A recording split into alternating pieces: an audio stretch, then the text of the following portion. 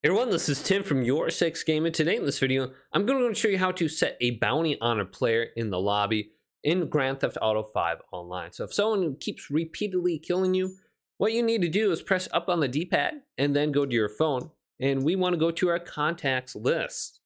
Then we want to locate Lester. So just press up on the D-pad, or you can scroll all the way down, and here is Lester. Let's go ahead and press X on his name and call him up. And then once we are speaking to him, there's going to be some options. And one of the options will be set a bounty. So let's go to set a bounty. This is the first option. Then you can choose someone in the lobby to set a bounty. So let's go to someone on here. Let's go to the lowest level player, this level 12 player, and then press X on their name. And then we can go all the way up to a $10,000 bounty right here. Otherwise, we can go down to 2000 So let's go do a $2,000 bounty. Press X on their name.